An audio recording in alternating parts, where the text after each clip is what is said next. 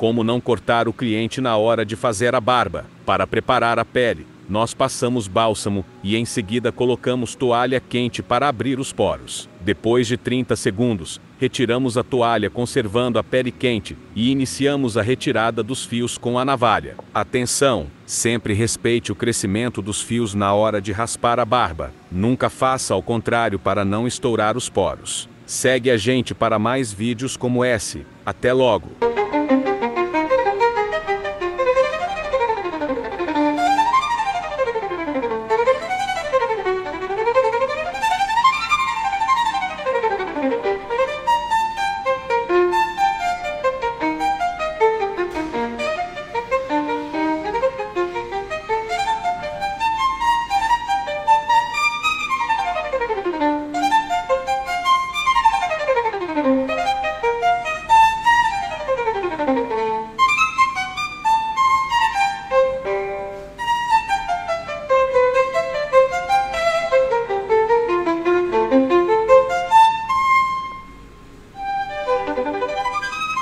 thank you